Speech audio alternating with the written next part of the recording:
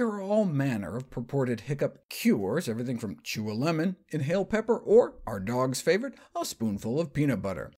Here's the technique excited to try next time I get hiccups. Supra, supra, maximal inspiration. You take a very deep breath, hold for 10 seconds, then breathe in even more, hold for another 5 seconds, then one final tiny breath in and hold for 5 last seconds.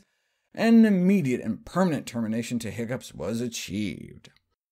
When I was a kid, I taught myself how to control my own hiccups using slow-paced breathing, and I was excited to see there was finally a case report written up on it.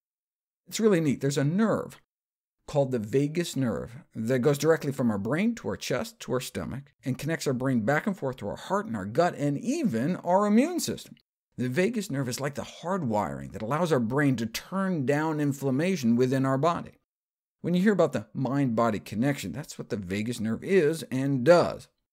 So there's been increasing interest in treating a wide range of disorders with implanted pacemaker-like devices for stimulating vagus nerve pathways. But certain Eastern traditions, like yoga, qigong, and Zen, figured a way to do it without having electrodes implanted into your body. Let me explain how.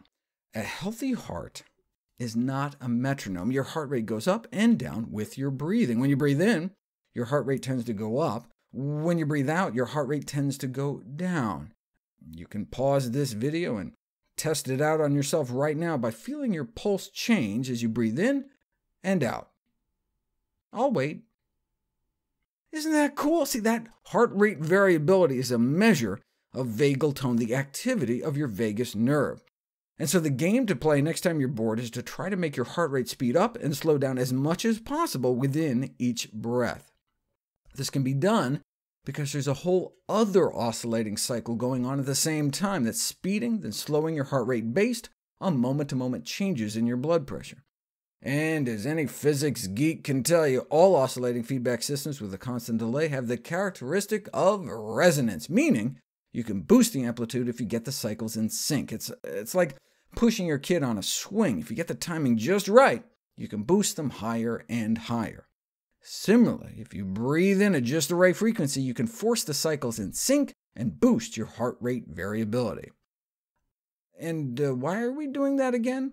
Because that allows us to affect the function of our autonomic nervous system via vagal afferents to brainstem nuclei like the locus ceruleus, activating hypothalamic vigilance areas, or at least according to the neurophysiologic model, model postulation. I mean, duh!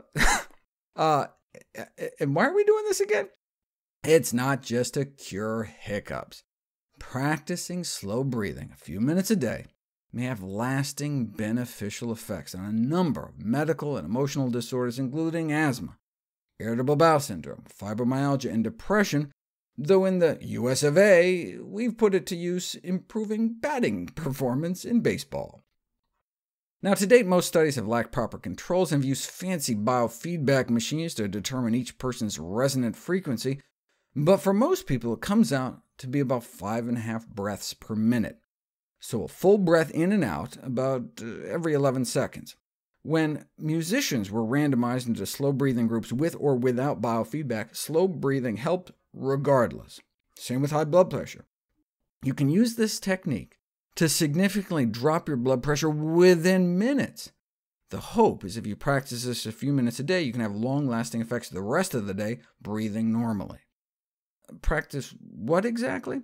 Slow breathing, five or six breaths per minute, split equally between breathing in and breathing out. Should do it. So like uh, 5 seconds in, then 5 seconds out, all the while breathing shallowly and naturally. You don't want to hyperventilate. Natural, shallow breaths, but just breathing really slowly. Try it the next time you get hiccups. Works for me every time.